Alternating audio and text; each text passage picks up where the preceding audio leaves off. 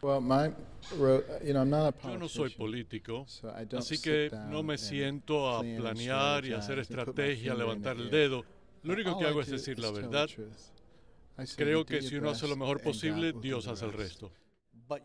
Pero tiene que ganar en algún momento. Tiene que ganar estados, tiene que acumular delegados para poder competir y seguir. Bueno, estoy de acuerdo. uh, Si eso ocurre, sería muy bueno. Uh, Y si no, Si estoy perdiendo apoyo y finanzas, no me voy a quedar por quedarme como hacen los políticos. Usted hoy está publicando su propuesta para reformar el sistema migratorio, que todos están de acuerdo está roto. ¿Cuáles son los principales puntos de esta propuesta? Well, first of Primero all, que we nada, can sí podemos border. asegurar la frontera. Tenemos la capacidad de hacerlo. Lo hemos demostrado en el condado de Yuma, Arizona, donde detuvimos la actividad ilícita por 97%, uh, by putting poniendo una doble cerca con una carretera de asfalto entre medio. Lo otro es um, que be habrá 11 unas and a half million 11 y medio millones de personas aquí ya. uh, Muchos de ellos llevan aquí toda una vida. ¿Qué hacemos Uh, con ellos?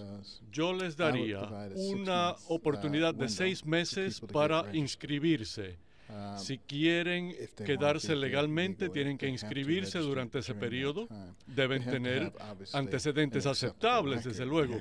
No vamos a legalizar a making delincuentes, obviamente. Tienen que Uh, pagar a impuestos retroactivos y una penalidad, seguir pagando and impuestos y estar en un a, programa como trabajadores a huéspedes, donde uh, sean necesarios. Uh, Podrán renovar su estado de trabajadores huéspedes indefinitely. indefinidamente.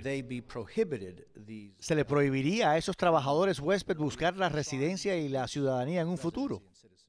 No, No, uh, ellos serían be como like cualquier otra persona en cualquier otra the parte world, del but mundo, they don't get pero no reciben una ventaja for por haber having lived vivido here aquí when it cuando comes se to trata de la ciudadanía.